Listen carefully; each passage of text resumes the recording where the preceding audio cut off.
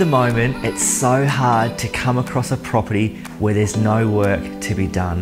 Well, here you can just move in and enjoy.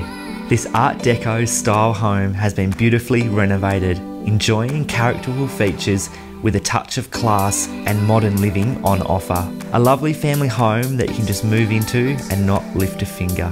Be greeted by a circular driveway, double French doors, and polished floorboards. The generous, stylish kitchen has been tastefully renovated, complete with quality appliances and opens to the dining area. There is the choice of two living areas, including the roomy lounge with reverse cycle heating and cooling, and a second living space off the dining room, all interconnecting. Down the hallway, you will find a new bathroom that is large in size with corner shower and separate bath, and there are three generously sized bedrooms, all with built in robes. Outside the home, you will find ample parking as well as a large block which is flat and has the potential to be developed if desired. Homes of this quality in such a central location can be difficult to find. Schools are only up the road, Upper Burnie shopping is at your fingertips, and the Burnie CBD is only moments away.